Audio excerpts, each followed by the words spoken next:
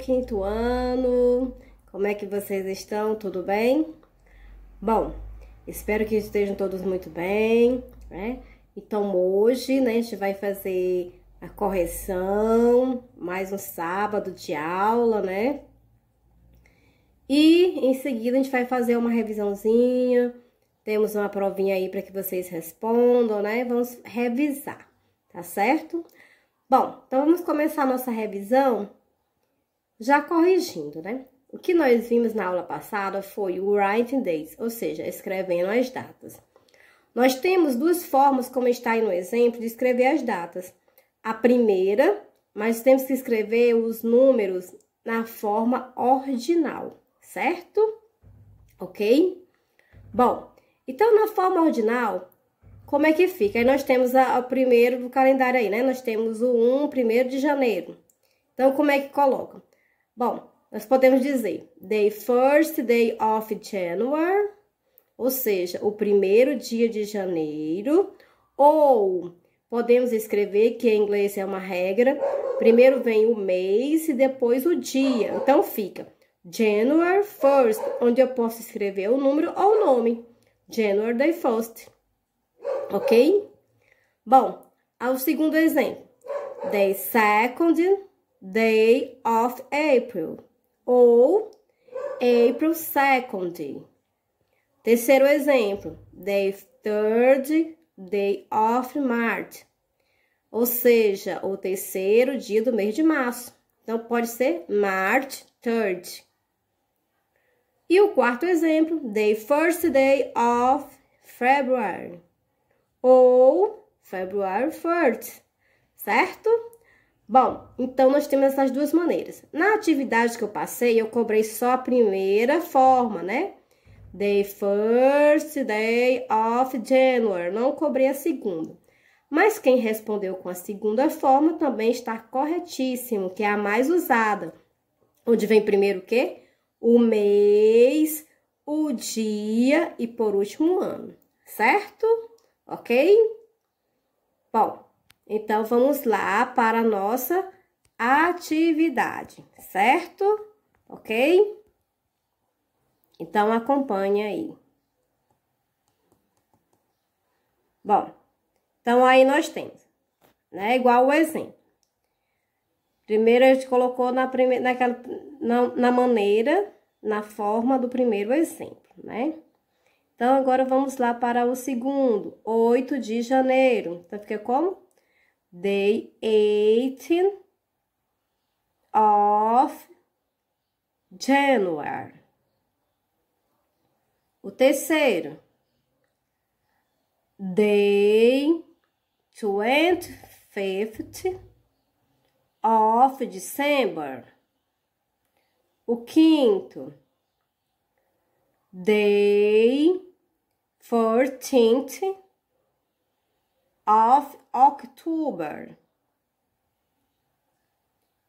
Sexta, day third of April. E o sétimo, day first of January. Ok? Bom, então agora vamos revisar os outros conteúdos, certo? Tá bom?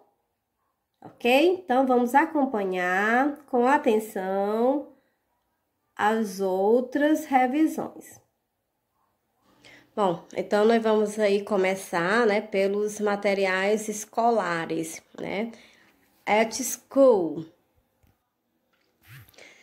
pencil, rubber ou eraser, backpack ou bag school, paper, roller push, glue, pencil sharpener, pen, scissor, book, notebook. Bom, está faltando alguns, eu não, não encontrei a imagem de todas, mas vocês têm aí o material, vocês vão relembrando e pegue o material que eu passei para vocês, que vocês têm aí na casa de vocês, tá? e olhe e observe todos, tá bom? Então, vamos lá mais uma vezinha. Pencil, rubber ou eraser, backpack, paper chips, holy push, glue, pencil sharpener ou soul sharpener, pen, scissor, book, notebook, ruler, que é a régua, ok? E vamos relembrar também os números, tanto os cardinais como os ordinais. Então, aí nós temos relacionando. Vamos lá. One, two, three, four, five, six, seven, eight, nine, ten.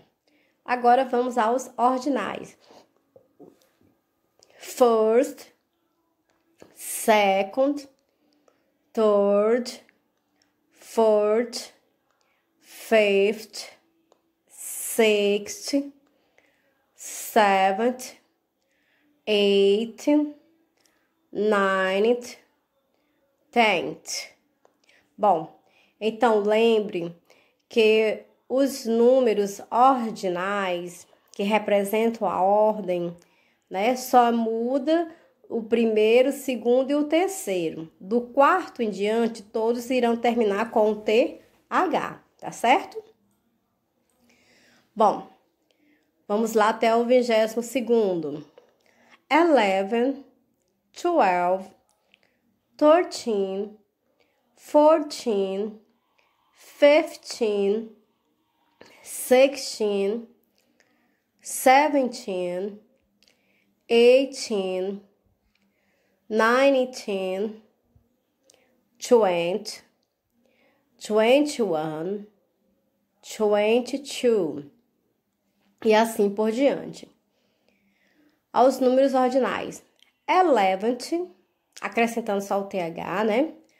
Twelfth, thirteenth, fourteenth, fifteenth, sixteenth, seventeenth, eighteenth, nineteenth, twenty, twenty-first, twenty-second. Bom, depois a gente viu também para poder escrever as datas, a gente precisa saber dos dias da semana, né? Bom, days of the week. Então aí nós temos Sunday, Mon Monday, Tuesday, Wednesday, Thursday, Friday, Saturday. Lembrando que os dias da semana devem ser sempre escritos com letra inicial maiúscula, tá? Bom, vamos ver também os months, né? Os meses do ano. Bom, então aí nós temos os meses e suas abreviaturas, ou seja, sua forma curta e quantos dias tem cada mês, tá? Então vamos lá. January, February, March, April, May, June, July, August, September, October, November, December. Lembrando que os dias, né, tanto os dias da semana quanto os meses do ano em inglês deve ser sempre escrito com letra inicial maiúscula. Tanto faz que ele venha no início, no meio ou no final da, da frase, tá? Tem que ser sempre escrito com letra inicial maiúscula. Bom, a outra coisinha que a gente viu também foram as ações, ou seja, os comandos que a gente tem, né? Então, action and commands, ou seja, então vamos lá as ações e os comandos. É, stand up, levantar, sit down, sentar, Open the door. Abrir a porta. Close the door. Fechar a porta. Write your name. Escreva seu nome. Read the book, ou seja, leia o livro. Sing a song. Cante uma canção. Don't take. Não pegue, não toque. Let, let's play a game. Vamos brincar, vamos jogar, né, um jogo. Count, contar.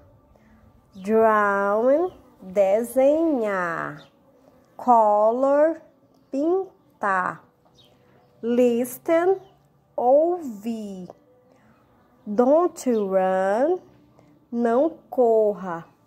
Do your homework, fazer a tarefa de casa. E painting, pintar. Ok? Bom, então finalizamos a nossa revisão. Have a nice weekend.